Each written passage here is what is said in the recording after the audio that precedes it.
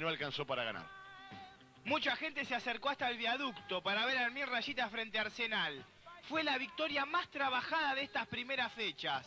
1 a 0 frente al conjunto de Sarandí. El equipo Mil Rayitas, luego de este centro que va a venir, cuando le cometían el FAU al Gaby Callafa, va a aparecer la cabeza rubia de Gabriel Nasta y va a poner el 1 a 0.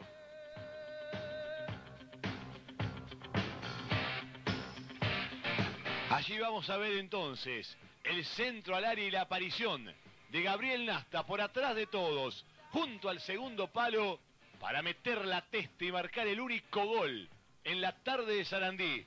Triunfo de los Andes, quizás inmerecido, porque Arsenal hizo méritos para el empate, pero en esa tarde comenzaba a aparecer en el arco de los Andes quien iba a ser una pieza fundamental en esta campaña el cordobés arquero Darío Alberto Sala.